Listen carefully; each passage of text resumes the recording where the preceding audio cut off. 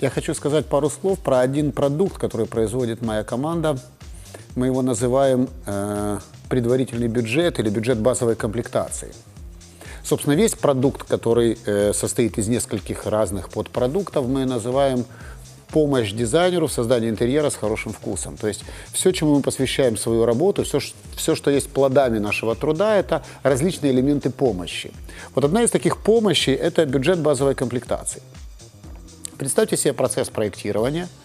Дизайнер или архитектор, который работает над интерьером, после того, как сделаны планировочные решения и какая-то предварительная визуализация, которая позволяет дизайнеру и заказчику в первом приближении осознать, что они движутся в правильном направлении, что они друг друга поняли, и у них есть интерьерная идея, тогда, когда они уже собираются подойти к подбору конкретных решений для отделок, предметов, конкретных изделий, немаловажным фактором этого подбора будет являться цена этих изделий.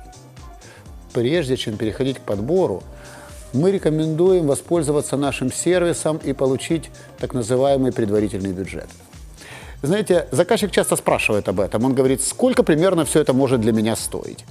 И зачастую он получает ответ, что-нибудь такое 500 евро на квадратный метр.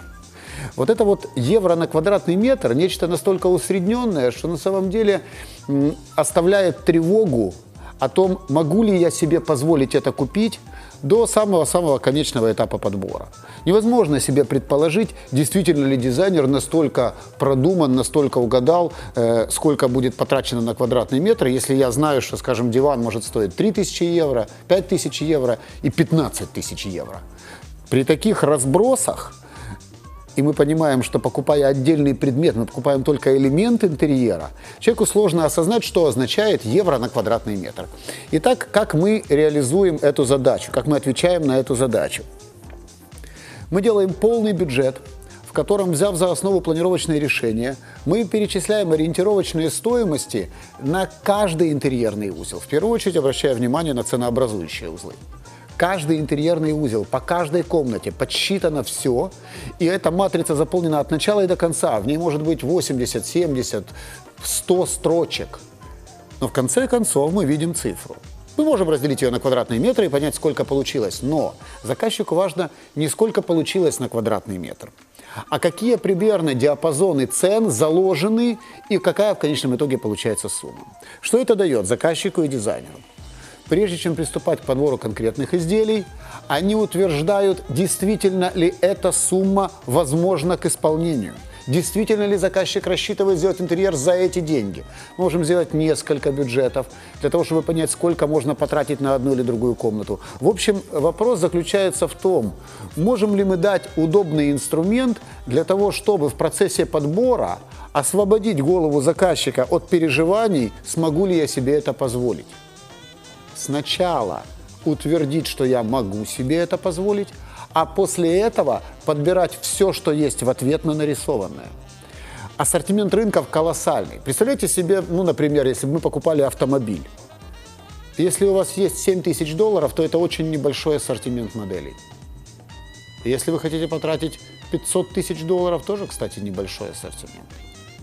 И если у вас есть 30-40 тысяч долларов, то это огромная линейка.